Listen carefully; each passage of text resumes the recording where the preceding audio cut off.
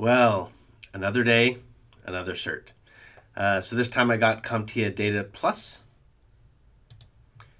So this is a basic data analytics, uh, working with data type uh, cert uh, certification. Um, so, you know what? While we go on, let's just share this to LinkedIn. Happy day. And save.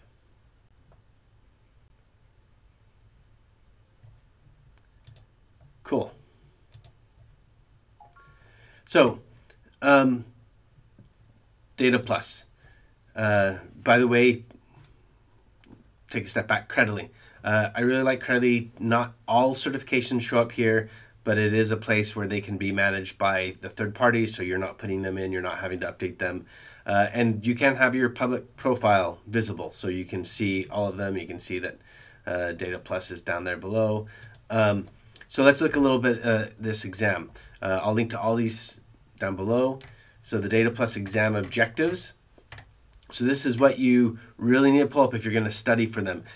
It's good to get a book. It's good to get um, a lot of uh, things to help you. Practice tests, for example, are something that I use quite a bit. So I really like practice tests. Um, it can help gauge what uh, areas you need to study or not. Um, anyway, so talking about the areas, so they're usually broken up and you have percentages of the examination. So data concepts, data mining, data analysis, data visualization, data governance, quality and controls. Uh, in, interesting, one of the things I had to brush up on, it's been a while, uh, is the in the data analytics part was um, statistics. So uh, brushing up on statistics a bit. Uh, so as you go through the exam objectives, they, they get more detailed. Now, even though they get more detailed, one of the things that they do not do um, is list, for example, the being familiar with the types of tools that are out there. Uh, oh, actually, right here.